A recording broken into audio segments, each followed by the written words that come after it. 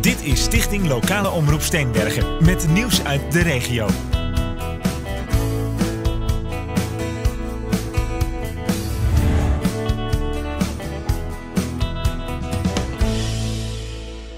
doen dit voor u. Uiteraard, die mannen eh, oefenen dit eh, een aantal keer op een jaar. Maar we doen dit voor u. Maak daar dus ook gebruik van. U krijgt de gelegenheid om in kleine groepjes eh, of op de Fury zelf of op het object aanwezig te zijn. Zodat u daar kunt zien, kunt doen van wat u allemaal wilt. Ja? Duidelijk? Ik kan er zeven meenemen. Kijk, nou.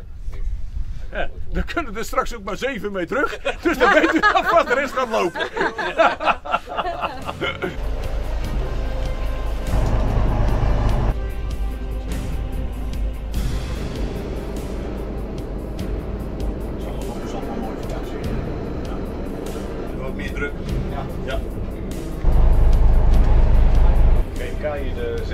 1663, u meldt een binnenbrand op een binnenvaartschip in Waalstroom. Uh, de eerste vraag van ons is, is het het achter of het voor de?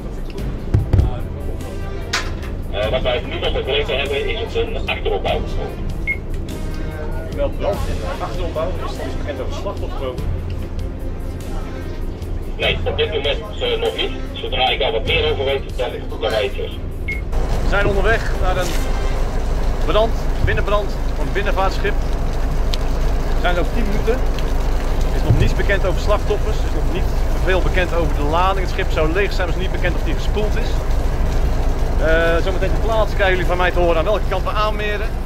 En met welke kant van de vuur die we aanmeren. Er is brand op het, uh, op de achter, op het achterste woonverblijf van het schip. En uh, zodra ik meer gegevens heb, krijgen die van mij te horen. Wat ik voor jullie wil is dat je alvast stralen gereed maakt. Eén straal. Hou rekening mee met een deelstuk op het schip. En daar vandaan gaan we met de O-bundel aanvallen.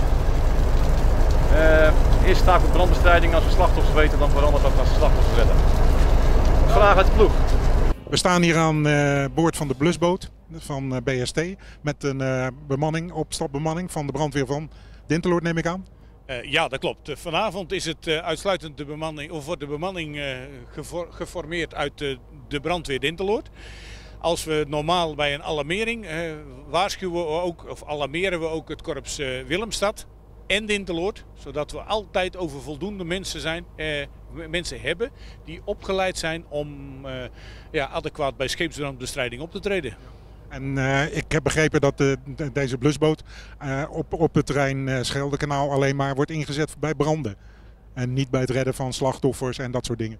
In beginsel is het zo dat deze boot ingezet wordt voor de, bestrijding van brand.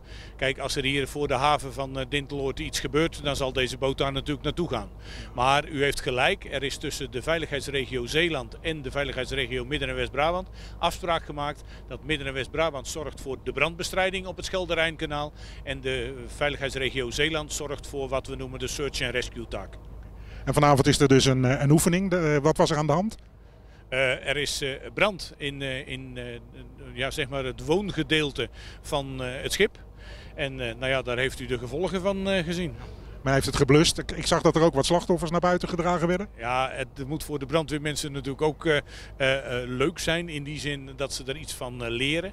Zoeken naar slachtoffers in een woning, gewoon op het land, is toch altijd weer wat anders dan in een, in, in een ruimte van een schip en dergelijke. Dus vandaar dat er bij deze oefening ook een paar ja, fictieve slachtoffers aanwezig waren. Oefenen jullie dit nou vaak? Uh, de brandweer van, uh, van Dinteloord, maar de brandweer van heel Midden- en West-Brabant uh, oefent één keer in de week. En in, in dit gedeelte is dat altijd op maandagavond. het aantal scheepsbranden wat we doen is denk dat we één keer per kwartaal dit beoefenen. Toch nog, dus ja. nou best nog wel veel, ja. ja. Oké, okay, nou gelukkig is het maar een oefening.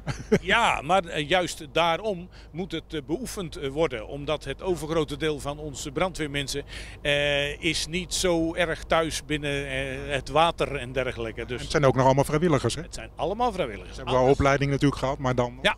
Maar alle brandweermensen hier in de gemeente Steenbergen die brand bestrijden, zijn allemaal vrijwilligers. Klopt. U hoeft niet een meter breed en twee meter lang te zijn en over een wereldconditie te beschikken om brandweer man, vrouw te zijn. Uh, u kunt het ook, uh, die nu als nou ja, echtgenote ergens op de bank zit. Berry is kluscommandant van 22 posten van, van hier de regio. Oké. En de regio loopt vanaf, vanaf Zevenbergen, ja. ons regio tot en met de Belgische grens en tot en met de Zeeuwse grens. Oké. Dat zijn de drie grenzen waar wij tussen zitten. Dus het gebied is behoorlijk groot. Dat, dat wel gemeente Woensdrecht, Bermsum, Roosendaal, hmm. Steenbergen, Haldenbergen en Moerdijk. Dat ja, zijn ja. de gemeentes waar we verwerken. Ik vond het echt heel gaaf om te zien. Ja? Het was heel warm. Maar uh, ik begrijp nou uh, ja, hoe, hoe zwaar uh, brandweermannen het hebben. Vooral in deze temperatuur natuurlijk. Boven de 30 graden. Maar ook als ze in kleine ruimtes moeten met, met volle bepakking, helm op, een ademdinges, een zuurstoffles, een lantaarn, noem maar op. Ik vind ja, respect. Groot respect.